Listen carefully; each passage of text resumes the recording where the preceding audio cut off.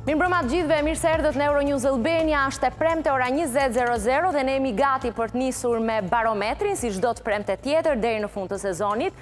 Dhe barometri i mbrëmjes së sotme vjen pikërisht në një kohë kur familja shqiptare duket që po përballet me shumë sfida. Në fakt, ne në përditshmëri i shohim me raste konkrete dhe reale këto sfida të cilat tregojnë se në çfarë situate të vështirë është një familje shqiptare për të qëndruar e fortë edhe për të qëndruar e shëndetshme. Në fakt debateve, herë pas here bazuar mbi perceptime personale apo mbi arsyetime logjike, ne mbrëmjën e sotme do t'i shtojmë të dhënat e studimeve të fundit të barometrit, sepse në fakt qytetarët shqiptarë kanë shprehur mendimin e tyre të pyetur kohë pas kohe për tema të ndryshme dhe le të themi Na japin një ide më të qartë mbi konceptin që ata kanë mbi familjen, çfarë është për ta një familje ideale, pozicionin e fëmijëve, sa fëmijë duhet të ketë, apo edhe pozicionin e gruas, po sigurisht, ata janë shprehur edhe për fenomene të ndryshme të shoqërisë që në thelb mund të rrezikojnë familjen, por jo vetëm atë, le të themi janë pjesë e debatit dhe diskutimit mbi atë çfarë po e rrezikon sot shoqërinë shqiptare, mbi këto të dhëna besoj unë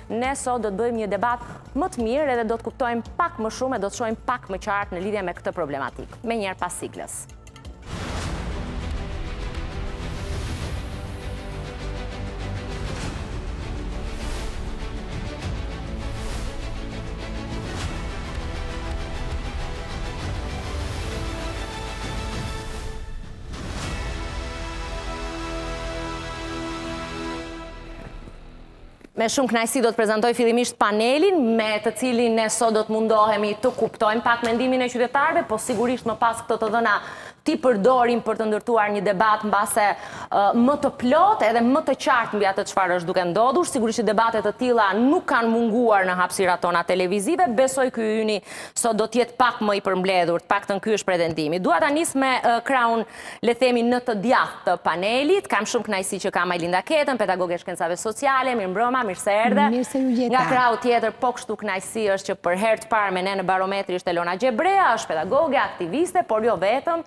Mirëmbrëma zonja Gjebrea. Mirëmbrëma, faleminderit. Mirë se erdhe, shumë kënaqësi. Pastor Akil Pano, mirëmbrëma. Nuk mund të mungonte në një diskutim apo qoftë edhe në një debat mbi familjen. Shumë kënaqësi që je me ne. Nga krahu tjetër është Mirgit Vata, është kryetari i Urdhrit të Punonjësve Socialë. Mirëmbrëma, Mirgit, mirë se erdhe. Shumë kënaqësi që kam uh, mbrëmjen e sotme juristen edhe avokaten uh, Margarita Kola, gjithmonë e flaktë dhe e zjarrtë në çdo debat për atë çfarë ajo quan le të themi të drejtë në mënyrën se si uh, Ne sot po përballemi me fenomene të ndryshme në shoqërinë shqiptare dhe shumë e rëndësishme në panel mbrëmjen e sotme Esmeralda Hoxha, aktiviste, jo vetëm kaq, vjen nga Aleanca Gjinore për Zhvillim.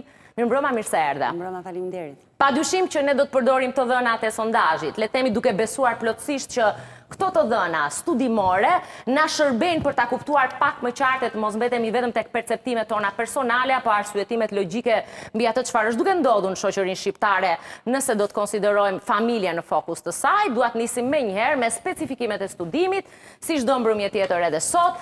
Periudha e intervistave, mbi bazën e të cilave ne do të shohim të dhënat e sotme, është marrë nga data tridhjetë mars deri në datën tre prill të vitit dy mijë e njëzet e katër, Në atë periudhë, një studim, një sondazh, të cilin ne e kemi publikuar, po pjesërisht të marra dhe të realizuara edhe pyetje që sot do t'i shohim për herë të parë dhe sigurisht që na shërbejnë në kontekstin e tematikës së mbrëmjes së sotme. Madhësia e kampionit është po e njëjta, është një kampion i plotë prej një mijë intervistash të bëra në nivel kombëtar dhe të bëra le të themi tek dyzet e nëntë pikë pesë për qind e kampionit janë meshkuj mbi tetëmbëdhjetë vjeç Pjesa tjetër janë femra mbi tetëmbëdhjetë vjeç, pesëdhjetë pikë pesë për qind e kampionit.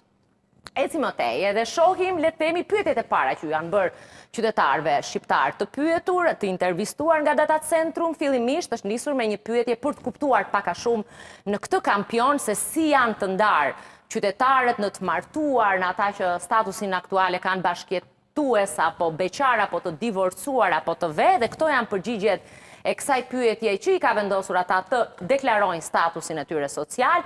Të martuar janë deklaruar 66 përqind e të pyeturve, në bashkëjetesë 1.5 përqind e të pyeturve, beqar 25.2 përqind e të pyeturve, të divorcuar apo të ndarë 2.1 përqind e të pyeturve, I apo e ve pesë pikë një përqind e të pyeturve dhe zero një përqind kanë preferuar të mos i përgjigjen kësaj pyetje, le të themi duke pretenduar që nuk ka njeri që nuk e di si e ka statusin social për momentin. A keni fëmijë është pyetja e dytë për të kuptuar pak në një kampion prej një mijë vetash se si është raporti i numrit të fëmijëve në familjet shqiptare për ata që kanë fëmijë, sigurisht Nuk kanë fëmijë janë përgjigjur tridhjetë e dy pikë tre për qind e të pyeturve. Kanë një fëmijë, njëmbëdhjetë pikë një për qind e të pyeturve. Le të themi që shumica prej tyre, që janë njëzet e nëntë pikë shtatë për qind, kanë dy fëmijë. Tre fëmijë, vetëm tetëmbëdhjetë për qind, tetëmbëdhjetë pikë pesë për qind e të pyeturve. Katër fëmijë, një shifër më e vogël akoma, gjashtë pikë pesë për qind e të pyeturve, pesë fëmijë, vetëm një për qind kanë deklaruar që kanë, gjashtë fëmijë, 0.6 për qind e të pyeturve, më shumë se shtatë fëmijë, 0.2 për qind e të pyeturve, dhe kanë refuzuar t'i përgjigjen kësaj pyetje, 0.1 për qind e të pyeturve. Eci më tej. Sigurisht që ata i kemi vendosur përveç statusit edhe situatës aktuale që kanë në familje nëse janë të martuar, beqar apo të divorcuar e sa fëmijë kanë në konceptin e tyre, Sa fëmijë duhet të ketë një familje ideale? Kjo është tabela edhe grafiku i përgjigjeve, shumica, janë tridhjetë e nëntë pikë tre për qind, që mendojnë që një familje ideale në konceptin e shqiptarëve duhet të ketë tre fëmijë. Tridhjetë e një pikë dy për qind mendojnë që idealja është të kenë dy fëmijë. Janë nëntëmbëdhjetë pikë një përqind ata që mendojnë që situata ideale do të kishte katër fëmijë brenda një familje dhe shumë më të vogla përqindjet me ata që thonë asnjë fëmijë, janë vetëm një pikë dy përqind ata që mendojnë që me një fëmijë një familje mund të konsiderohej e plotësuar, janë dy pikë tetë përqind, me pesë fëmijë po dy pikë një përqind, gjashtë fëmijë më pak akoma zero pikë gjashtë përqind dhe më shumë se shtatë fëmijë mendojnë vetëm zero pikë pesë përqind e të pyeturve që do të duhej të kishte një familje ideale. Ndërkohë, këtë pyetje jemi munduar ta kuptojmë pak më thellë duke analizuar sipas grupmoshave të pyeturit dhe ky është grafiku, duket pak i komplikuar, po do mundohem ta thjeshtoj, le të themi për të gjitha nivelet, qoftë ata që mendojnë që me një fëmijë familja do ishte ideale apo e plotësuar, ata që mendojnë që me katër fëmijë Familja do ishte ideale e plotësuar, tre fëmijë dhe dy fëmijë, këto janë grafikët në mënyrën se si ato lëvizin nga më të rinjtë e pyetur nga sondazhi deri te grupmoshat më të vjetra dhe le të themi që shumicën e atyre që mendojnë që dy fëmijë do të ishin ideale për një familje janë të rinjtë ata që e mendojnë në shumicë këtë shifër si idealen dhe sigurisht Më të vjetrit shohim kurbën e grafikut të parë me jeshile, që janë gjashtëdhjetë e pesë shtatëdhjetë e pesë vjeçarët, janë më pak në përqindje që mendojnë pikërisht nga ky grupi që mendojnë që me dy fëmijë një familje është e plotësuar. Po kështu me tre fëmijë, le të themi ata që mendojnë më së shumti që një familje duhet të ketë tre fëmijë për të qenë e plotësuar janë grupmosha më e madhe, gjashtëdhjetë e pesë shtatëdhjetë e pesë vjeçarët dhe janë dyzet e shtatë pikë tre përqind e tyre që i përkasin kësaj grupmoshe, ndërkohë pika më e ulët e kësaj kurbe që mendojnë që me tre fëmijë një familje mund të jetë ideale janë më të rinjtë, janë tetëmbëdhjetë njëzet e katër vjeçarët. Me katër fëmijë sigurisht që mbetemi pak a shumë në të njëjtat nivele, gjashtëdhjetë e pesë shtatëdhjetë e pesë vjeçarët janë shumica e atyre që mendojnë që një familje duhet të ketë katër fëmijë për të qenë e plotë dhe ideale dhe janë në përqindje shumë të ulëta të rinjtë që mendojnë e apo e e mendojnë një familje me katër fëmijë, me një fëmijë, Le të themi grafiku është pak i luhatshëm, përqindja është shumë e vogël, por gjithsesi pika më e lartë e atyre që mendojnë që familja ideale do të ishte me një fëmijë, është pikërisht te 45-54 vjeçarët, ata le të themi kanë përqindjen më të lartë, janë 3.2%. Por edhe 25-34 vjeçarët kanë një përqindje të konsiderueshme, 7.2%, të ulëta janë përqindjet e të rinjve që e mendojnë familjen me një fëmijë dhe le të themi mund të shohim pak shpresë kur të analizojmë pak më vonë tek të rinjtë, dhe sigurisht grupmoshat më të mdha, 55-64 vjeçarët nuk ka asnjë le të themi në masën e përqindjes nga kjo grupmoshë që mendojnë që një familje është ideale me një fëmijë. Analizojmë pak më shumë këtë të dhënë, se sigurisht do ndalemi në pjesën e parë pikërisht për të kuptuar këtë koncept mbi familjen dhe sa fëmijë duhet të ketë ajo, e më pas gradualisht me sondazhin të ecim me diskutimet mbi familjen, tematika të tjera që kanë të bëjnë me familjen, sa fëmijë duhet të ketë një familje ideale e analizuar edhe peshuar sipas gjinisë. Këtu i kemi meshkuj dhe femra për të katërta kategoritë, te grupi që mendojnë se një familje duhet të ketë katër fëmijë, janë më shumë gra dhe më pak meshkuj, 21.7% e tyre janë gra dhe 16.9% janë meshkuj, ndërsa ata që ishin në shumicë në total për një familje me tre fëmijë, këtu janë më shumë meshkuj dhe më pak femra janë dyzet pikë gjashtë përqind e tyre meshkuj që mendojnë që tre fëmijë është idealja, ndërsa femrat janë 37.8 përqind, edhe tek dy fëmijë janë pak a shumë të ndarë të baraspeshuar ata që e kanë zgjedhur këtë si formën më ideale të një familje, 30.9 përqind janë meshkuj dhe 31.4 përqind janë femra, nuk kemi ndonjë dallim të madh, pak a shumë në të njëjtin nivel nuk kemi dallime sipas konceptit që kanë gjini të ndryshme Për një familje me një fëmijë janë 2.4 për qind meshkuj, 3.3 për qind femra, aty aty të nuk ka ndonjë dallim të madh nga gjinia, po sigurisht përqindjet janë të ulta siç e pamë edhe në fillim. Ecim më tej, shohim edhe grafikun e radhës, për ta plotësuar, le të themi, këtë grupim të dhënash që e vendos qytetarin përballë mendimit e të kemi mundësi të kuptojmë pak më shumë si e shohin ata familje në raport me fëmijët. Sa dakord jeni me thënien, një fëmijë ka nevojë për një familje me nënë dhe baba për t'u rritur i lumtur. Shumica, dhe nuk janë pak, janë pothuajse pjesa më e madhe, nëntëdhjetë e katër pikë dy përqind e të pyeturve janë dakord me idenë apo me faktin apo me pohimin që një fëmijë Për t'u rritur i lumtur, ka nevojë për një familje me nënë dhe me baba. Janë vetëm pesë pikë katër për qind ata që nuk janë dakord me këtë. Le të themi nënkuptojnë që jo domosdoshmërisht një fëmijë për t'u rritur i lumtur duhet të ketë një familje me nënë dhe me baba dhe zero pikë tre për qind kanë refuzuar të përgjigjen apo të japin një mendim të saktë për këtë, le të themi kanë zgjedhur opsionin nuk e di në këtë pjesë. Dhe tani besoj vlen të ndalemi, kemi mjaftueshëm të dhëna, të paktën për të analizuar Këtë pjesë të gjithë problematikave apo prizmeve në të cilat ne duam ta shohim familjen shqiptare edhe shoqërinë, si duket, Majlinda? Së pari është nga ato trajtesa që është më pozitivja në dëshirat që shqiptarët dhe kryesisht të rinjtë kanë mhm. shprehur për kundrejt familjes shqiptare dhe dëshirave të tyre për të pasur familje. Dhe kjo na na mbush me shumë gëzim, Dhe por ka një kontradiksion logjik mes dëshirës së tyre për të pasur një familje të plotë biles në një gjendje shumë larg të dhënave të instatit për numrin e mm. familje e fëmijëve që kemi arritur në familje, që është një moment kritik për familjen shqiptare, dhe realitetit ka një hendek jashtëzakonisht të madh. Ne duam, Fakti, por nga krahu po, tjetër nuk bëjmë shumë. Ne kemi një brez të ri që e koncepton familjen me nënë, baba, të plotë, të bashkë mbështetur gjithë bashkë, ku dy fëmijë janë të dëshirushëm pothuajse për një të tretën dhe përsëri ne kemi një tendencë edhe për tre fëmijë, dhe nga ana tjetër në realitetin tonë, Kur ato flasin për gjendjen e tyre, për statusin e tyre, gjendja është e largët. Për shembull, do të thoja që midis pohimit a keni fëmijë, ku një në tre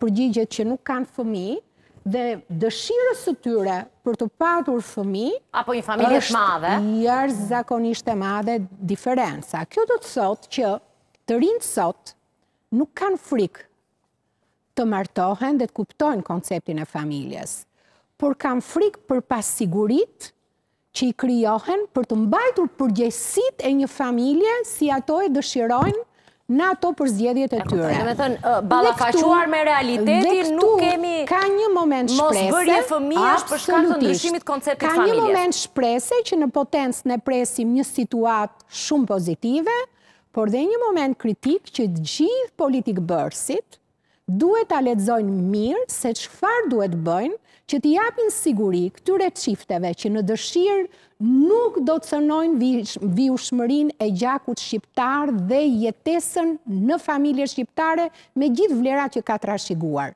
Por, në realitet, me gjendjen kritike edhe të të kampionuarve, ne jemi shumë larg. E kuptoj. Le të përpiqemi të japim disa ide për të bërë të mundur që dëshirat e tyre të shkojnë në realitet, që çfarë i dëshirohet të mundësohet nga një politikëbërje më e mirë. E kuptoj. Nga një mbështetje më e mirë për politika të cilat në një emision të fundit unë kam thënë, ne kemi diskutuar për një minimum jetik. Ne diskutojmë për një shportë të domosdoshme të ushqimeve në familje. Le ta hedhim idenë e një shporte të politikave bazë që i duhet një çifti të ri të mbështetet nga shteti për të krijuar familjen në konceptin Dakord, edhe kjo është e diskutueshme, a do të mjaftonte po themi çfarëdolloj ekonomie për të bërë fëmijë, ka një ide tjetër, mund të jetë perceptim personal që kush do të bëjë fëmijë nuk bën llogari, domethënë se sa i kushton një fëmijë, po mm, është kjo e një brezit më të rritur në krahasim me brezin më të ri, çfarë të duket më domethënëse nga të dhënat, nga ky grupim i parë i të dhënave, po, zonja Gjebrea? Po, ajo që edhe unë shikoj bazuar tek ajo çfarë juve pasqyruat përmes këtij anketimi, që meriton lavdrime dhe ia vlen që të bëjmë një debat të tillë, edhe në situatën që ka krijuar debate çështja e familjes, tre gjëra doja t'i thoja shkurt. E para tregon që të rinjtë preferojnë më pak fëmijë sesa po themi grupmoshat më të mëdha dhe mhm. është e kuptueshme kjo gjë, mbase do të flasim pak më tej. E dyta për sa i përket aspektit gjinor, preferencat për numrin ideal të fëmijëve janë të ngjashme ndërmjet mhm. meshkujve dhe femrave, por meshkujt rezulton që të kenë preferenca më pak, pra priren të preferojnë pak më shumë numër të ulët fëmijësh. Dhe ajo që del për sa përket asaj strukturës familjare që ju përmendët tregon që një mbështetje të fortë për strukturën tradicionale të familjes. Kjo është evidente nga nga nëse ne sot kemi, le të themi një krizë të rritjes së popullsisë apo të lindshmërisë. Po. Kjo nuk është për shkak të ndryshimit të koncepteve. Jo, ne jemi jo. po të njëjtët që kemi qenë. Jo. Edhe unë kështu mendoj që konceptet janë të njëjta, pavarësisht se tani të rinjtë e sotëm priren që të marrin më pak risqe dhe të kenë më shumë komoditete për të krijuar një familje. Krahasuar po themi me brezin tonë apo me breza të mëparshëm që e e vinin Nuk e vendosnin në peshore. Po, pikërisht, pikërisht. Pra shikojnë më shumë komoditet, kanë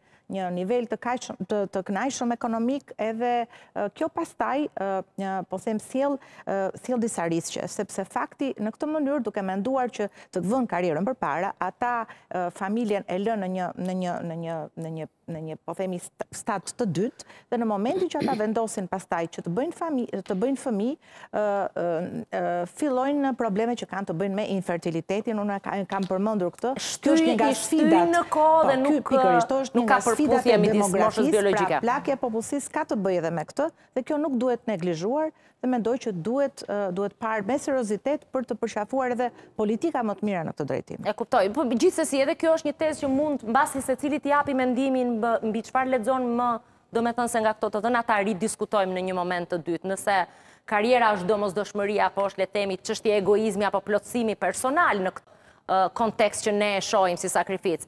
Pastor, duhet të jesh i kënaqur, besoj. Jam i trishtuar në fakt. Me çfarë? Dhe me çfarë je i kënaqur se nuk besoj që sheh vetëm njërën anë. Pra, gjendem aktualisht në një botë paradoksi, sepse jam i kënaqur sikundër ju mund ta evidentoni për faktin se Shoqëria shqiptare vijon të jetë një shoqëri tradicionaliste, thënë me terma po, konservatore. Njeriu për nga natyra është tradicionalist. Pra e do familjen, do lirinë, do pronën e vet. Dhe ky është domeni më i çmuar i jetës që ne kur erdhëm në këtë botë, e gjetëm dhe u kultivuam në jetën tonë. Kështu e mendojmë dhe kështu e shikojmë jetën. Pra, jam i kënaqur kur shikoj se 90 e sa ishte kjo, 94.2% e shqiptarëve mendojnë që një familje ka nevojë për të qenë të lumtur fëmijët, ka nevojë për një babë dhe një nënë. Po, kjo është formula si e shohin po, ata. Edhe kjo nuk po e krijojmë, nuk po e shpikim ne. Kjo është tradita jonë, kjo është mënyra se si ne shikojmë realitetin e jetës.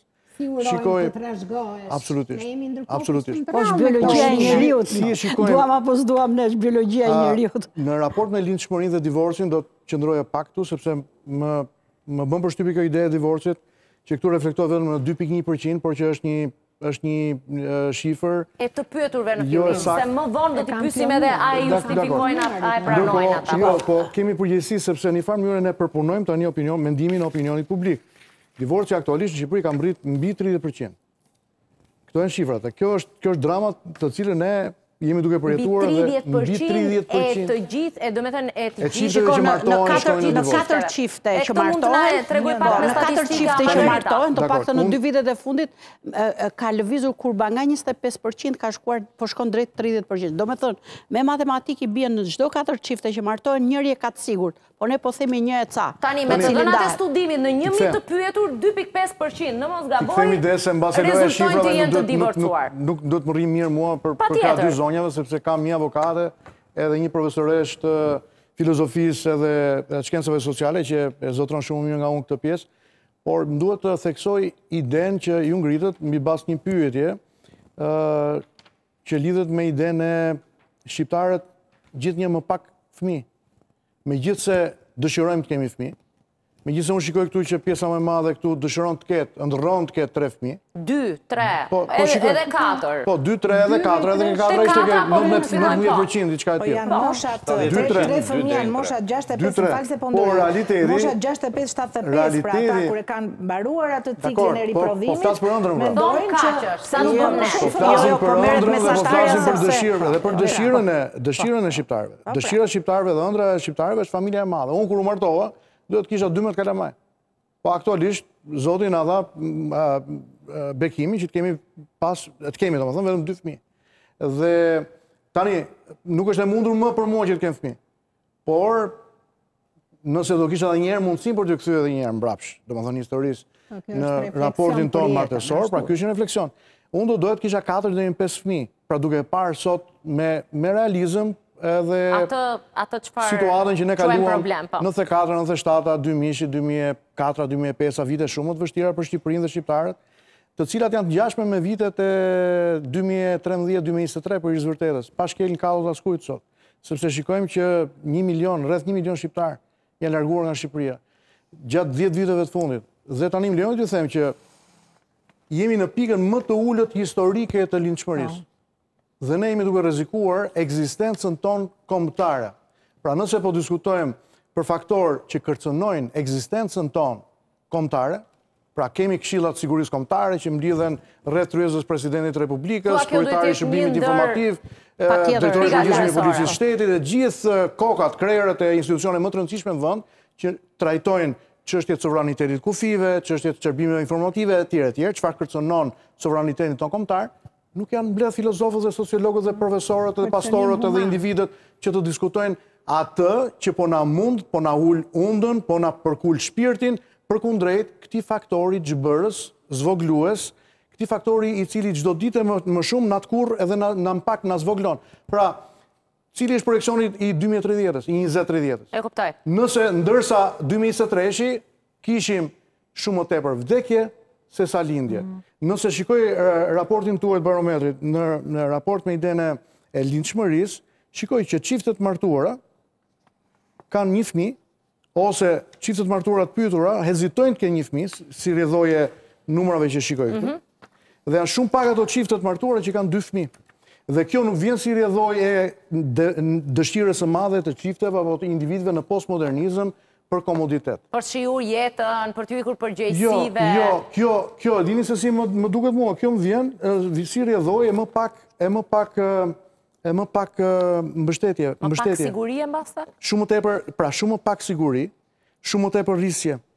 Dhe në qoftë se në Shqipëri, ne do të ishim në gjendje gjatë këtyre 10 apo 13 viteve të fundit, që të aplikonin politika fiskale pro mbështetje të familjes dhe jo propozojmë projektligje si këto të fundit që po dëgjojmë që kërkojnë të sterilizojnë vajzat dhe djemtë po. shqiptare edhe e kërkojnë të na paraqesin një skenar trafikimi të vajzave dhe grave në vëndin tonë, mbi çështjen e surogacisë e tjere. Tjere, po nëse kemi kohë... Po, i diskutojmë nëse Mbi këto të dhëna, pra, ne kuptojmë që ai është rrezik. Deri këtu ne kuptojmë që nuk kemi rrezik. Me një fjali, në vend që të sterilizojmë, Gjon, Gjon, në vend që të në vend që të propozojmë idenë e sterilizimit të meshkujve dhe femrave, dhe në vend që të propozojmë idenë e abortit tek vajzat 16 vjeçare pa dijen e prindërve, Atëherë ne duhet të propozojmë projektligje të cilat forcojnë mbështesin familjen. Ja, ta marr mendimin e Mirgitit edhe më pas dhe sigurisht që ka disa pika që ne do t'u kthehemi se besoj ka mendime të ndryshme. Mirgit, edhe në raport me fëmijët dhe nga eksperienca që ti ke. Domethënë, kam përshtypjen duhet ta shohësh pak në një këndvështrim tjetër. Familja është kuptohet. Duam bëjmë fëmijë, po. Si i rrisim këta fëmijë që bëjmë është histori tjetër. Por, krahas funksionit kryesor që ka, për sa i takon riprodhimit, në ditët e sotshme ndjen dhe pasiguri të tjera. Pra nuk lidhet vetëm me aspektet ambicioze që kemi sot lidhur me karrierën, me punën, por ka të bëjë dhe me pasigurinë e madhe që të krijohet nga mjedisi, nga faktorët ekonomikë, nga faktorët socialë, nga faktorët emocionalë. Dhe pavarësisht gjithsecili prej nesh dëshirës të mirë që mund të ketë për të patur sa më shumë fëmijë, apo nga tradita që ne kemi ardhur nga familje të mëdhaja dhe dëshirës që ne kemi, pra edhe perceptimi kur e shprehim që një familje ideale duhet të jetë me tre fëmijë, duhet të ketë prezent edhe nënën dhe babain gjatë gjithë kohës të jenë prezent, pra jo nuk jemi pro familjeve me një prind në sensin që Pavarësisht se mund të ketë situata që është e pashmangshme, por dëshira është e madhe që të jenë të dy prindërit, ka të bëjmë me faktorët e tjerë socialë që lidhen me faktorët emocionalë. Mos harrojmë që vitin e kaluar, pra në vitin 2023, sipas të dhënave të INSTAT-it, kishim 10% më pak lindje sesa vitit 2022, që është një shifër goxha e madhe. Dakord. Po edhe në konceptin që ne kemi mbi fëmijët që duam t'i bëjmë dhe mënyrës se si i rrisim ata. Shiko, nëse dikur na thonin që bëje fëmijën se fëmija rritet vetë, në ditët e sotshme ka ndryshuar dhe aspekte të tjera që lidhen me aspektin ekonomik, me aspektin social. Sa familje ke parë ti në eksperiencën tënde që i kanë bërë fëmijët me këtë ide, që fëmijët rriten vetë dhe ata janë le të themi në Nuk e di, tani unë do të thoja që për shembull mamaja ime është heroinë sepse ne jemi pesë fëmijë dhe sigurisht patjetër që kërkon një investim goxha të madh nga të dy prindërit, nga babaja dhe nga nëna, dhe nga angazhime që kishin secili të dy mësues, por që në ditët e sotshme shumë e vështirë, sepse pasiguria në aspektin ekonomik, pasiguria në aspektin social, pasiguria tek një e drejtë themelore që gjithsecili prej nesh kanë lidhur me me një banesë, pra janë janë shumë mm. aspekte të cilat ndikojnë dhe mënyra se si e kemi transformuar shoqërinë pas viteve 90. Dhe um, pjesa e mungesës së mbështetjes emocionale që familja apo prindit i ofrojnë fëmijëve duke krijuar këtë hapësirën e, e atashimit të drejtë që fëmijët duhet të kenë me prindit, krijon edhe një distancë që ti edhe duhet mendosh nëse ti kërkon jo shumë. Të shëndetshëm jo vetëm fizikisht, por edhe mendërisht edhe emocionalisht. Lidhjet Kur themi familje me dy prindrit dhe me fëmijët, ne themi që të dy prindrit dhe fëmijët kanë një lidhje edhe emocionale shumë të shëndetshme. Dhe ndo ndonjëherë që për, edhe për shkak të problemeve të atashimit emocional që fëmijët kanë me prindrit, mund të ndodhë që ti mund të gjendesh edhe përpara pozitave në momentin që ti do që të bëhesh prind, ta mendosh mirë për shkak të marrëdhënieve që ti ke patur me prindrit. Apo edhe aspekteve tjera, por mbi të gjitha prevalon fakti i aspekteve sociale dhe emocionale. Sot jemi më të ndjeshëm në sensin që Në aspektin emocional jemi edhe më të luhatshëm si njerëz, pra nuk jemi shumë të përqendruar në një lidhje afatgjatë emocionale me një partner, pra duke qenë se edhe shoqëria jonë po shkon drejt atyre elementeve të tjerë, si shoqëritë e tjera që nuk ka, ku naturalizohet fakti që ti mund t'jesh i lidhur emocionalisht dhe me të tjerë, pra pavarësisht të jenë martesë dhe mund të bësh dhe një zgjedhje tjetër, por që janë shumë elementë të cilët ndikojnë. Fakti, edhe mua që më lumturon, është që 70% e, e të pyeturve deklarojnë që duan që të kenë 2 deri në 3 fëmijë. 2 deri në 3 fëmijë dhe kjo është, domethënë, shpresë e madhe. Margarita, divorci dhe ato çfarë ti sheh perceptimin tënd, po edhe të ballafaquara me këto të dhëna. Dhe koncepti për familje. Shiko, në pamje të parë duket sikur Ka një kontradiktë te ky barometri sepse paska dëshirë po në realitet nuk lindin. Tani duhet ta ndajmë këtë momentin. Mm. Momenti i dëshirës dhe i bindjes dhe i perceptimit që kemi ne për familjen është okay. Janë shifra shumë uh, optimiste. Dhe nga ana tjetër, dhe nga ana tjetër, nga ana tjetër, uh, kjo është shpresëdhënëse sepse kjo na bën të mendojmë që ne e paskemi dëshirën, po çfarë na mungon në prakticitet, që ne nuk i kemi këto shifra në prakticitet. Pra, qenka diçka që qenka në dorën tonë, sepse dëshirën e kemi, po kur vjen praktika, nuk mund ta realizojmë këtë. Atëherë, çfarë bën shoqëria në këto raste? Kjo tregon që kërkon angazhim shoqëror, angazhim të atyre që marrin vendime, që kanë në dorë dhe na përfaqësojnë ne të bëjnë ato politikat për të cilët ne folëm. Pra, shumë e qartë, ky barometër na tregon ne mos vazhdoni më me diskutimin, sepse ne ngelemi gjithmonë në diskutimin që sa bukur doli ky barometri, shqiptarët e dashkan familjen, kjo është okay. Jo, Unë po, mund ta dua familjen dhe ky është prezumim. Çështja është, çështja është ta ta përfundojmë. Çështja është tani ne pasi diskutojmë dhe themi që e paskemi dëshirë. Çfarë mund të bëjmë ne që ta jetëzojmë këtë dëshirë dhe ta shndrojmë në praktikë në një aspekt që po mor këta shqiptarë që dashkan të kenë 2 deri në 3 fëmijë, kush i pengon? Pra këtu fillon analiza dhe ne këtu duhet të fokusohemi, duhet ta kalojmë këtë fazën e parë. Shumë bukur, e dëgjuan shqiptarët, nëntëdhjetë e katër pikë dy për qind, shifër e shkëlqyer, do ta kenë zili dhe shtetet tjera. Problemi është tani kemi dalë tek analiza. Çfarë duhet të bëjmë ne që nuk i bëkemi këto, se dëshirën e paskemi ne. Do të thotë që ne kemi një pengesë praktike, pra duhet ta adresojmë pengesën praktike. Dhe kush është? E kanë bërë shtetet tjera. Keni shembullin e Norvegjisë. keni shembullin e Suedisë. Suedia dhe Norvegjia, kur arritën një shifër shumë të ulët të lindshmërisë së tyre. Mhm. Unë atëherë kam qenë studente në Suedi kur ka ndodhur kjo dhe kishte një debat shumë të madh, pothuajse çdo media, çdo politikëbërës e, e morën shqetësim kombëtar, e patën 3-4 vjet që ishte shqetësimi më i madh kombëtar i tyre. Unë e dëgjojsha nëpër nëpër media gjithë kohës dhe ndërmorën politika. Sot Suedia është një nga vendet që e ka rritur jashtëzakonisht më lart lindshmërinë se sa sa se ç'e ka pasur më përpara dhe ka pasur një studim të një viti të shkuar që unë e kam lexuar diku që për çifte të reja në Europë Suedezët ishin ato çifte të reja që bënin më shumë fëmijë krahasuar me çiftet e reja të vendeve të tjera europiane, të cilët kishin të njëjtën po, shkallë zhvillimi ekonomik e tjerë. treguar që pra, kanë pra, funksionuar pra, dhe kanë dhënë rezultat të shpejtë. Kjo tregon që tashmë ne duhet të heqim dorë nga diskutimi, se dëshirën shqiptarët e paskan, po duhet të adresohemi tani, t'ua bëjmë të mundur në praktikë shqiptarët të realizojnë këtë dëshirën. Unë jam një nga ato, familjarë që mendoj në këtë moshë që kam, që ka qenë thjesht jo një pamundësi, se sot që analizoj, dikur kam menduar ka qenë pamundësi, sot që analizoj mendoj që nuk ka qenë pamundësi, ka qenë një frikë e stisur e imja, ndoshta nga gjithë ky realitet që na rrethon e, nga gjithë këto halle që dëgjojmë, sepse kam pasur shumë mundësi edhe ekonomike, Edhe fizike për të pasur tre fëmijë. Dhe do ishte shumë mirë të kisha tre fëmijë. Po, kam dy fëmijë, kam dy fëmijë, po sot e mendoj që do të ishte shumë më mirë të kisha tre fëmijë. Indeksi i lindshmërisë në Shqipëri për shqiptarët është një pikë tre tani aktualisht. Pra, unë mendoj që nga ky emision, nga ky emision do kuptojmë të gjithë që tashmë Duhet t'i shkojë në vesh atyre që kanë mundësi të bëjnë këto politika. Është momenti për të vepruar. Po, patjetër, për të vepruar.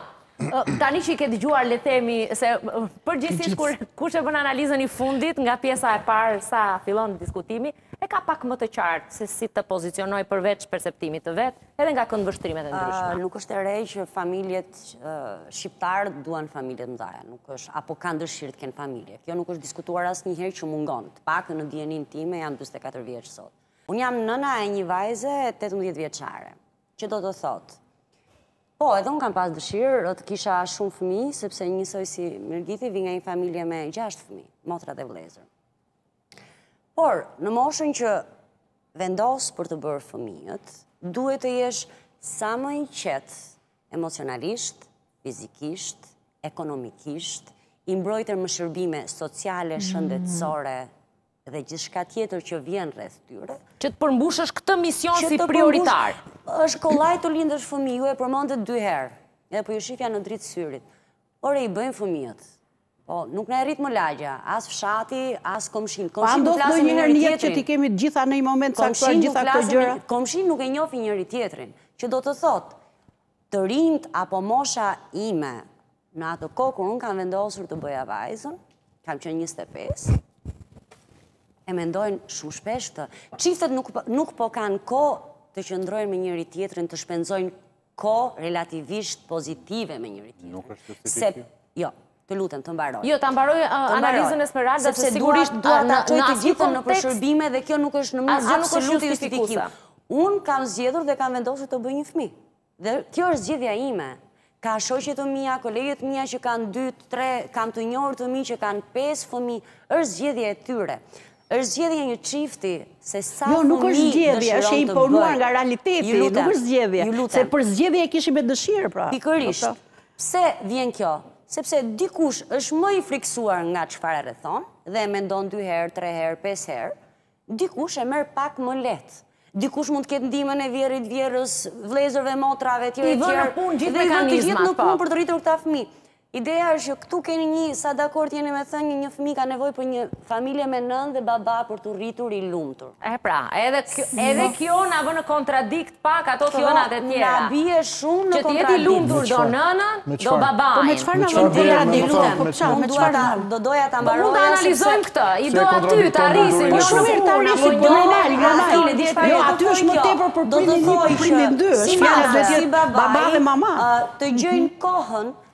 dhe ta shpenzojnë sa më mirë me fëmijët, të kenë kohën që të dalin në aktivitete me fëmijët, të kenë kohën që ta çojnë dhe ta presin. Si të realizohet? Është ajo që t'i rikthehem edhe një herë.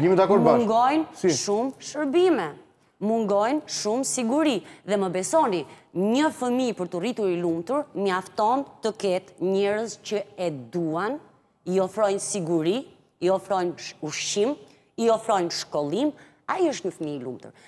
Një fëmijë i lumtur është ai fëmijë që rritet në një familje që mund të mos ketë dhe nënën dhe babain. Na mund të ketë vetëm nënën, por nuk mund një arsye. Dashuria. Mund të ketë vetëm babain, por në mënyrë absolute nuk mund ta mendojmë që Ai fëmijë nuk duhet nga ai person që po e rrit dhe nuk mundohet personi që po e rrit për ta bërë dhe për t'i ofruar lumturi. Ë, kemi familje edhe me dy nëna dhe ju e dini shumë mirë sepse po qarkullon shumë në media. Më fal, më fal, çish, çish, se nuk e dëgjova. Po, kemi familje me dy nëna. Motra, dy motra që janë bashkë. Dhe nuk mendoj që është ky momenti pra, për të diskutuar për të mos dalë. Pra mamaja me motrën sepse ka vdekur bashkëshorti nga një aksident apo. Do i rikthehemi kësaj.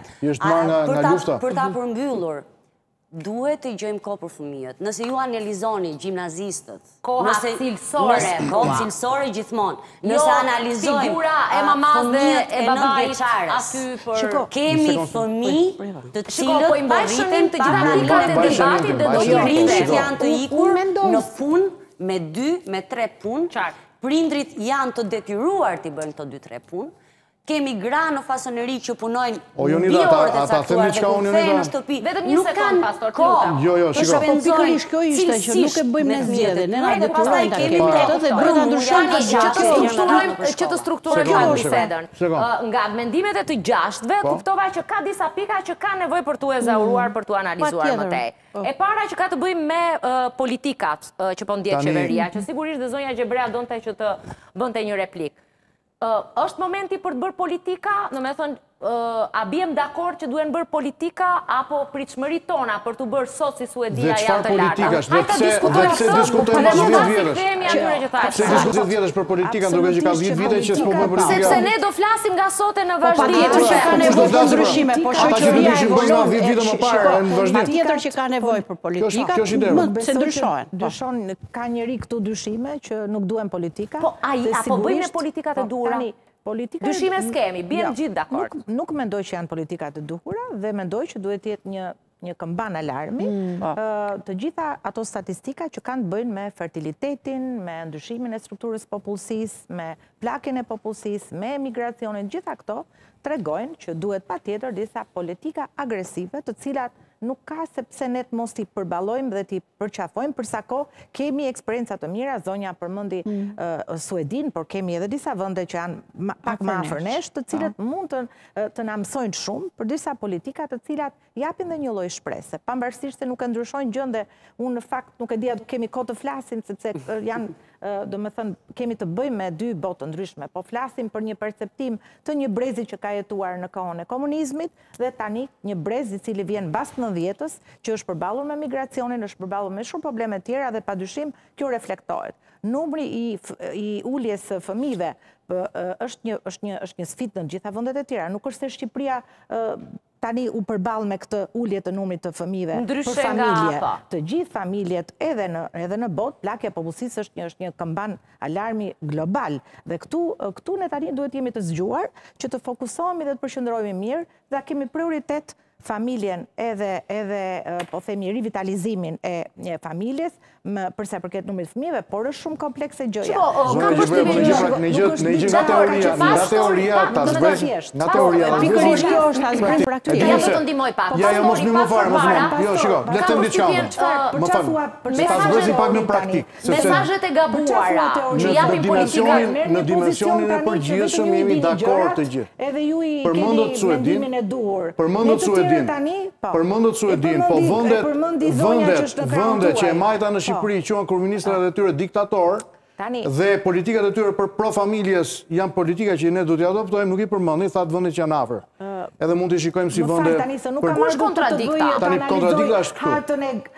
Gjithë hartën globale për sa i përket familjes. Për Hungarinë po flasëm. Po, jo, Nga 1.3% që neve kemi indeksin e lindshmërisë, mhm.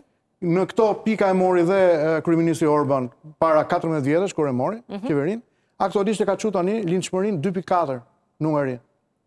Pse? Si?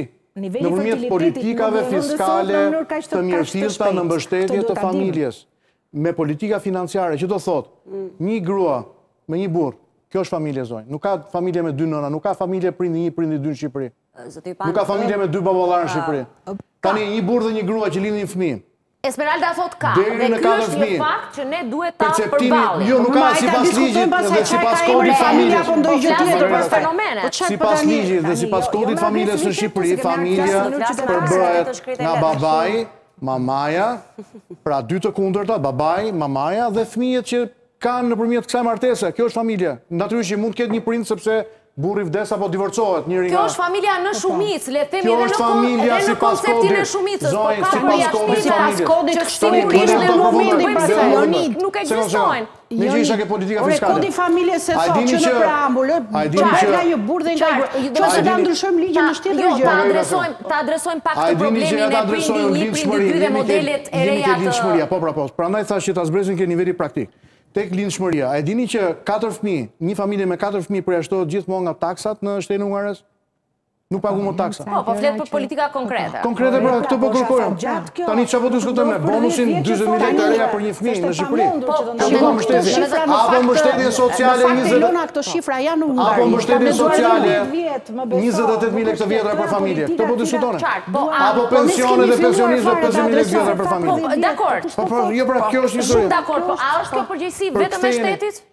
Po pa dyshim e atyre që bëjnë politika. Hajde të shohim gjëra të padyshim është i simbala për shpëtim. Po pikërisht, shiko pikërisht në pra.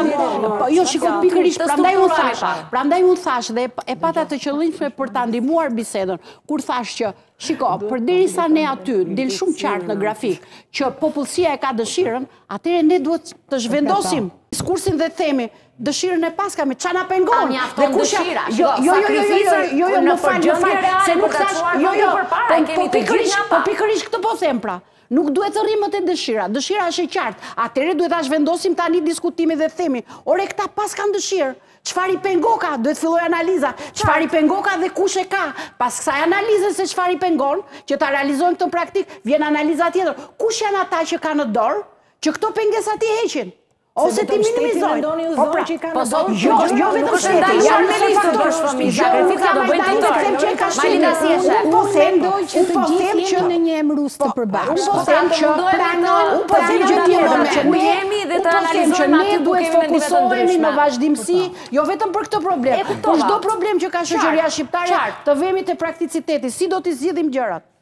Ne kemi rënë në një emërues të përbashkët. Momenti që po kalon familja shqiptare me rënien e numrit të lindjeve mm. është kthyer jo, një emergjencë kombëtare. Jo vetëm, por kjo është një nga problematikat, po.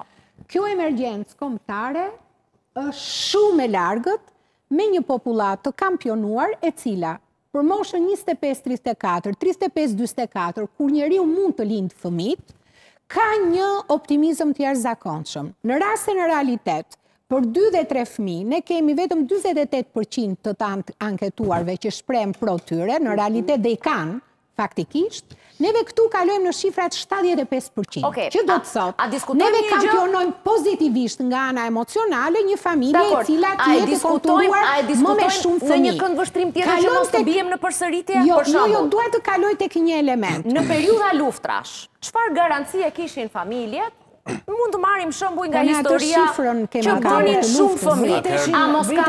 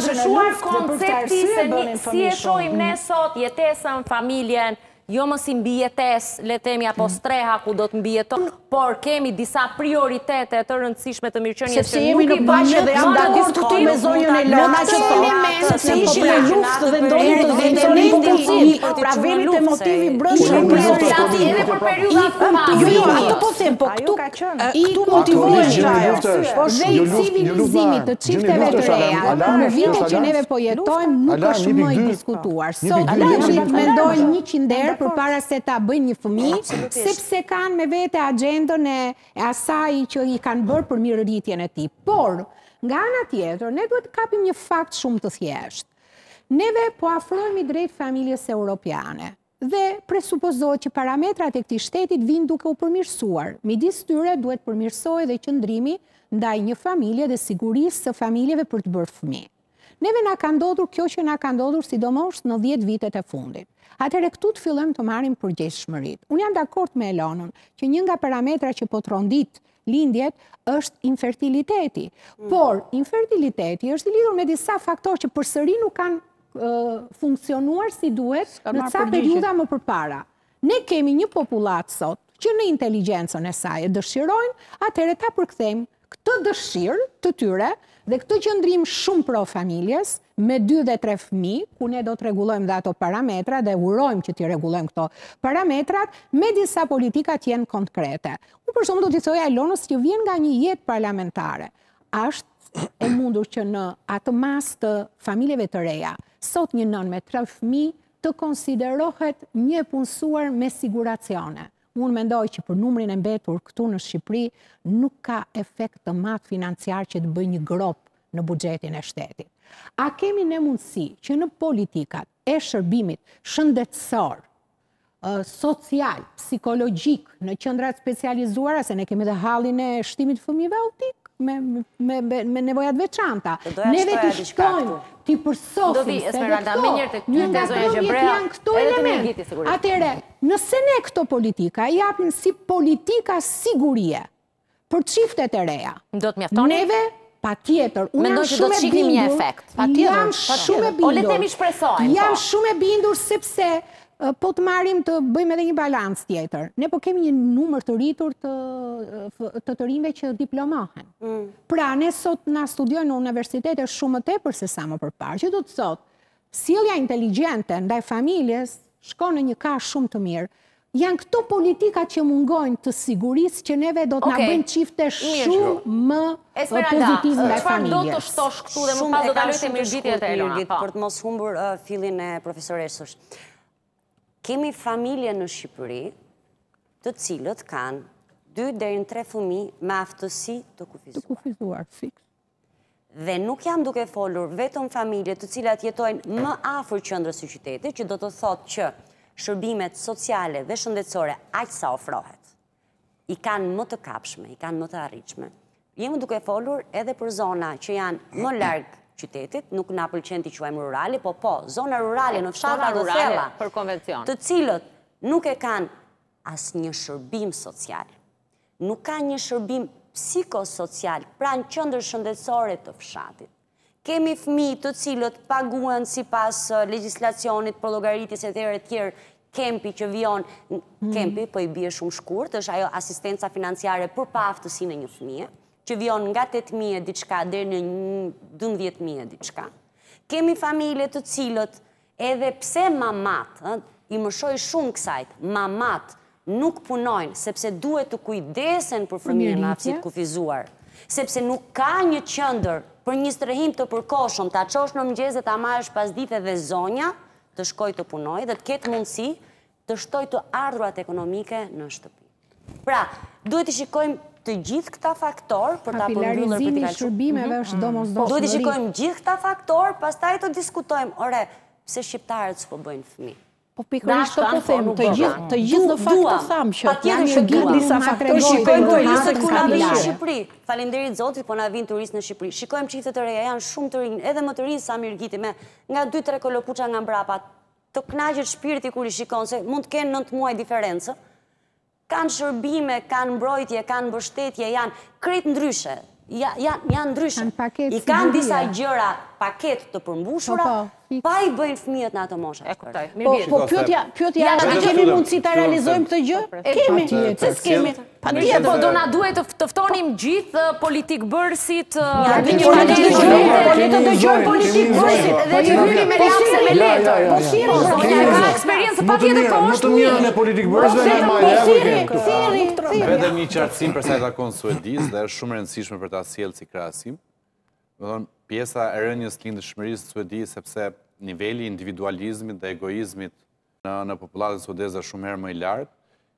dhe ishin shumë të fokusuar tek karriera dhe pastaj aspekti biologjik kur ti duhet të bëhesh prind ishte shumë vonë. Hm.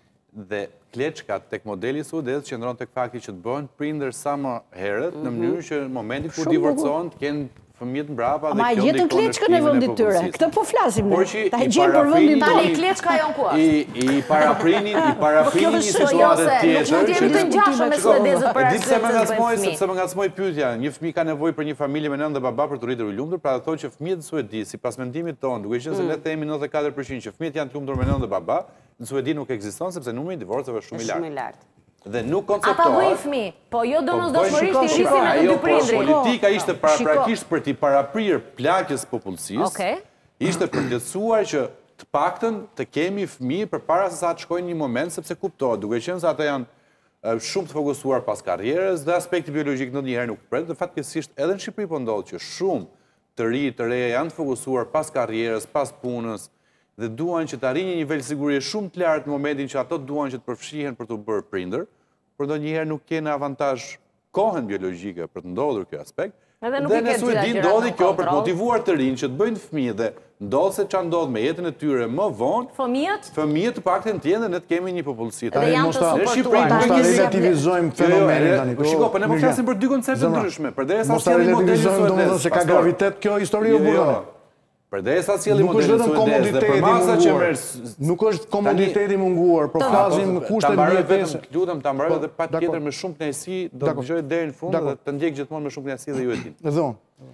Dhe e solla si shembull sepse arsyet janë komplet tjera në Suedi dhe arsyet janë komplet tjera këtu. Unë jam shumë dakord me ju që shteti duhet të marrë masa për sa i takon aspekteve sociale. Por mos të harrojmë vetëm aspektin social pra që ti të kesh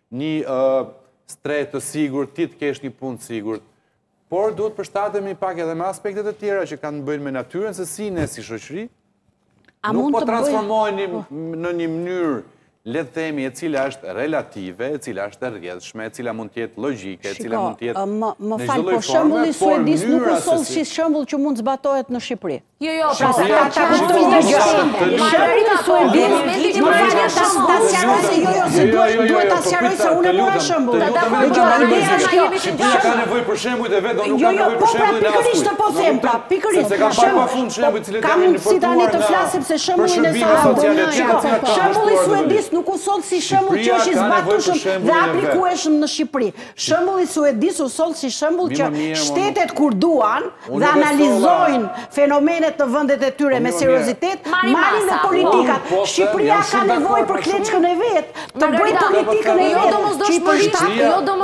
Nëse unë do trembesha, do trembesha për arsye ekonomike, për arsye sociale, sepse do kisha pasiguri në punë, do kisha paqëndrueshmëri Ndonjëherë dhe emocionale do kisha shumë faktorë të cilët do ndikojnë. Ti trembu për të gjitha arsyet, po unë të them një gjë që jam më e rritur se ty në moshë dhe i kam lindur ato fëmijët e mi, që asnjëherë në jetë njeriut nuk i bëhen të gjitha bashkë dhe pse i ëndërron në jetën e tij që mund t'i ketë një ditë bashkë, sa ta rregojnë atë që bëjnë fëmijët. Unë jam nga ata njerëz që mendoj që nuk duhet të presësh momentin që ti të realizosh diçka që të bëhesh prind. Okej, ta pyes pak zonjën Gjebrea. Ti që je edhe më e avancuar se mua. Më fal, në një lloj forme gjithë jemi politikëbërës me mënyrën se si ndikojmë. Le të themi në këtë panel përgjegjësia me eksperiencën e politikëbërjes është më shumë e juaja. E pashë edhe pak pastorin përpara, po besoj edhe Margarita. Kur thonë duam politika, le të themi duken si të prekur ose marrin mesazhe të gabuara nga ajo çfarë ka bërë shumë zhurmë së fundit, që është një projektligj për abortin, për surogacinë etj etj, që nga njëra anë janë justifikuar me argumenta si fenomenet duhen rregulluar me ligj, nga krahu tjetër duken si kërcënuese për familjen, shëndetin e saj edhe është politika e vetëdijshme që ai është prioriteti i momentit, domethënë si duhet ta adresojmë ne këtë kontradikt, po. le të themi, kur të po. gjithë jemi dakord po. që situata është kjo dhe ne duam të shkojmë nga kjo pikë në këtë pikë. Çdo ministri ka politika të veta dhe Ministria e Shëndetësisë ka politikat e veta për sa i përket shëndetit riprodhues si një prioritet i rëndësishëm në një si pjesë e shëndetësisë. Kishte ardhur koha që ligji i shëndetit riprodhues të riparohesh për disa problematika që kishin dalë, pasi ishin dy ligje, po themi, të vjetruar deri diku, pavarësisht se në këndvështrimin tim ligji për ndërprerjen e shtatzanisë nuk është se kishte treguar problematika, dhe por ama, Fakti që kemi e përsëris infertilitetin, fakti që në praktikë ne kemi çifte të cilët duan të kenë fëmijë, provojnë të kenë fëmijë me fekondimin in vitro, nuk arrijnë dot me shumë kosto financiare sepse duhet shkojnë në në spitale private, edhe me me me me sukses me me përqindje suksesi shumë të ulët, atëherë Shteti, mendoj unë, me aq sa kam kuptuar unë, ka mbështetur po, financiarisht për të pasur disa, po themi, mundësi për çifte të cilat duhet t'ua japim këtë mundësi, sepse çdo biem dakord të gjithë kanë dëshirë të kenë fëmijë. Dhe kjo është një nga mënyrat që ky ligj për sa përket fertilizimit in vitro rregullon. Nuk, sigurisht pjesa e surrogacisë është shumë më sensitive dhe aty Mbase është dashur që të ketë edhe një diskutim, edhe një diskutim çik përgatitje edhe të situatës për të kuptuar, për të thënë çfarë kërkohet me këtë ligj, sepse aty thuhet, po pra, provokative dhe e re, do ta rimarrim diskutimin. Ka qenë e nevojshme që të jetë një diskutim më i gjerë për shoqëria të përgatitej pak më shumë për një fenomen që ekzistonte, një fenomen që kryhej në mënyrë ilegale. Dhe gjithsesi, në atë ligj e kam lexuar me shumë mhm, mhm. vëmendje dhe kam punuar për shumë vite dhe punoj akoma në fushën e shëndetit riprodhues, nuk jam Nuk them që aborti është diçka e mirë, është diçka traumatike dhe çdo femër duhet përpiqet me gjitha mënyrat të mos shkojë në një abort, por nuk duhet t'ia mohosh të drejtën një gruaje nëse do të ketë do ka dëshirë të ketë një abort, të mos i ketë kushtet sepse Të gjitha statistikat kanë treguar që në ato vende që është ndërprerë aborti, nuk është ulur numri i aborteve, është rritur turizmi i abortit. Kanë shkuar, me këto të dhëna që ne kemi, që ne duam familjen kështu, tradicionale, duket sikur nuk ka ndonjë rrezik. Pastaj do pyes pak edhe pastorin, edhe Margaritën, Po. Pse pse shohin rrezik te një po. projektligj që rregullon, po, po, le të themi, abortin apo fertilizimin in vitro apo surrogacinë? Një pjesë e marrin fjalën. Po ja tani e vetmja gjë që dua të them është që dy gjëra shkurt nga ato që e di që nuk ka kohë dhe gjithë duhet të të nderuarit duhet të flasim këtu. Dy gjëra. E para një herë që ajo është është është nuk është me pagesë dhe është brenda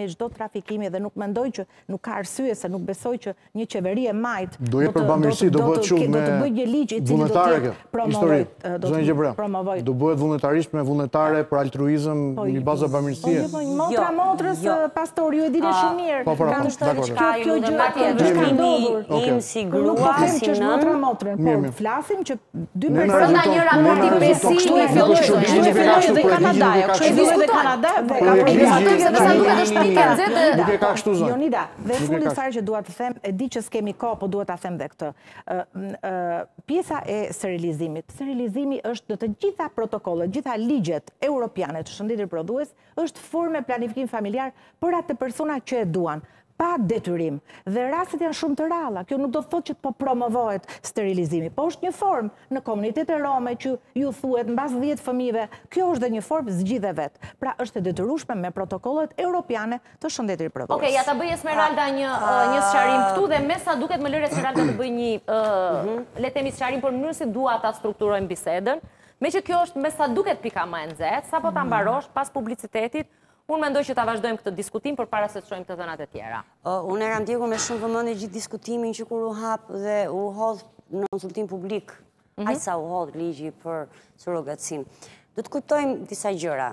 Kemi familje të cilat kanë qëndruar burri me gruan rreth njëzet vjet bashkë me shpresën që do të lindin një fëmijë, se e kanë dashur, e kanë dashur me shpirt të dy palët. Dhe kemi pas pesëdhjetë vjeçar të divorcuar, i njoh personalisht. Sepse nuk kishin një fëmijë. Ë kemi raste dhe nuk janë të pakta të familjeve dhe po flas breza pak më të rritur se sa mua, ndoshta dhe më të rritur edhe se sa zonjat, të mosha e prindërve të mi, 76, 80, që vllai ka rënë dakord me vllain që të lindi një fëmijë po. për të dhe sapo të lindi t'ja marrë dhe t'ja japi atit që ta rrisi si të tijin. Tani, nëse jemi duke folur për një ligj, unë jam plotësisht dakord që gjithkush që ka dëshirë Është i shëndetshëm mendërisht dhe fizikisht. Të mos e pengojë boshllëku ligjor. Mos pengohet nga boshllëku ligjor. Por, ligji. Me një kuadër të fortë ligjor ama. Por, ligji ka. Unë nuk jam e fushës së ligjit. Po flas nga praktika. Siç kontrollohen doganat edhe këto historitë e tjera. Nëse unë vendos për të mbajtur, për të lindur fëmijën e dikujt që njoh, pak rëndësi ka.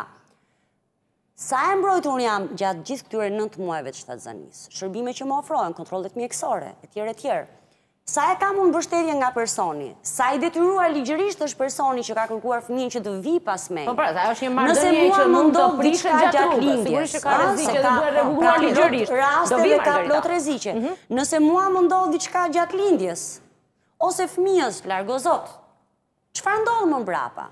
Këto duhen parashikuar dhe duhen specifikuar e zeza mbi të bardhë. Ne shqiptarët e duam të shkruajtur gjën. Jo, po ne vetëm një gjë. Do gjithë bota ashtu, s'e duam një gjë. Do gjithë bota ashtu. Dhe e duam, kemi kohë, jam kushëm. Po dakor, dakor. E duam në detaje. Ligjet gjithmonë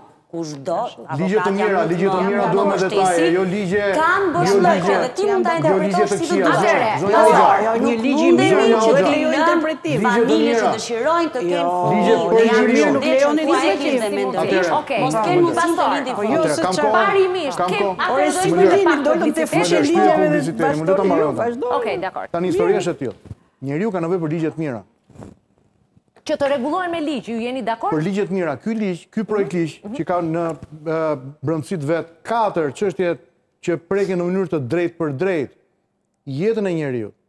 Shëndetin riprodhues. Jo, jo, jo, jo, është maskim mbi termin shëndet riprodhues. Po pse? Po ja ta shpjegoj, po ja mhm. shpjegoj. A doni të dëgjoni? Po patjetër. Atëherë, shikoni. A e dini që tregu i surrogacisë në botë në vit ka një vlerë prej 13 miliard dollarë? A e dini që, a e dini që po. projeksioni i këtij tregu për vitin 2030 do të jetë 30 miliard dollarë? A e dini që nëse Shqipëria deri tani njihet për turizmin e turizmin dentar, na vijnë qytetarë nga Italia në vendin tonë për të marrë shërbime këtu sepse janë më lirë, kushtojnë më mhm. lirë këtu. India njihet si po, vendi për turizmin e surrogacisë. Po, po mirë, më lër të bëj një pyetje. Ta përfundoj, ta përfundoj. Më lër të bëj një pyetje. Po, ju jeni parimi, domethënë ju jeni kundër projektligjit, apo keni frikën e pasojave, se si ne më të themi. Po, ja, shpjegoja, nuk ishte nevoja fare të ndërhyni me pyetjen. Shpjegimi është ky. Besoj që pyetjet ndihmojnë gjithmonë. Dakor. Shpjegimi është ky. Dhe nuk është shpjegimi im, nuk është një improvizim shpjegues në këtë rast. Është një shpjegim i mirëhulumtuar me studime rasti dhe me vende ku ndodh rëndom surrogacia. E dini që surrogacia i vendos një çmim grave dhe vajzave? Njeriu shumë më tepër se sa një objekt dhe një send për t'u blerë apo për t'u shitur. Momentin që t'i vendos trupit të një gruaje apo një vajze, një çmim, ti e ke dehumanizuar atë si person, si qenie. Kjo është e para, çështja e parë, çështje morale dhe etike. Çështja e dytë. Çështja e dytë mua më rezulton që ky projektligj është një projektligj klientelist, sepse ne si koalicioni shqiptar pro familjes dhe jetës kemi kërkuar që të kemi një dëgjesë publike tek ministria prej nga ka dalë dhe ky projektligj. Klientelist në favor të kujt? Në favor të spitaleve, klinikave, të cilat projektojnë që do të shtojnë të ardhurat e tyre financiare Si rrjedhojë e këtij shërbimi dhe unë po ju tregoj që ekziston një faqe në internet. Domethënë nuk ka kaq shumë njerëz që duan të bëjnë fëmijë me surrogaci, por ka interesa financiare. Po keni informacion për këtë? Po e vazhdoj logjikën, pra po ju them për ju. Ekziston një faqe në internet që unë mund ta bëj publike tani, e kemi bërë publike, dhe ka shumë gjasa që kjo histori do të shkojë në SPAK. Kjo faqe ka bërë publike spitale dhe klinika të cilat ofrojnë paraprakisht shërbimin e surrogacisë.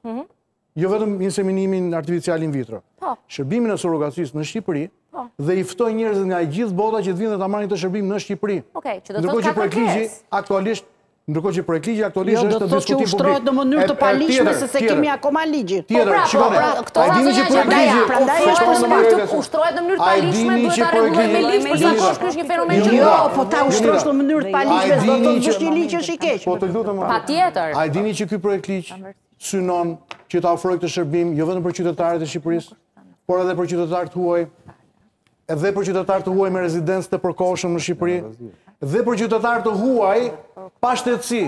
A dini që në Evropë sot jetojnë në Evropë sot rreth 1 milion refugjat që janë pa shtetësi? Cila është frika juaj? Frika jonë është që Shqipëria, siç ishte për vite me radhë një arë e madhe kanabisi, mhm. do të shndërrohet në një fermë të madhe ku do të trafikohen vajzat dhe gratë shqiptare dhe të huaja për trafikun e qenieve njerëzore, për bebet që do të trafikohen. Po, a quhet më trafik kur bëhet në mënyrë ligjore? A do të quhet më trafik? Tani më duhet të thotë një marrëdhënie e rregulluar me ligjin. Nuk ka mundësi, nuk ka mundësi ta ndërrojë dakord. Do shkojnë në publicitet. Domethënë, është një, po, presion që unë patjetër duhet ta adresoj, kështu që e mbarojmë publicitetin dhe kthehemi menjëherë me këtë debat që ka të bëjë me ligjin, qoftë për këto moskuptime apo kontradikta që ka...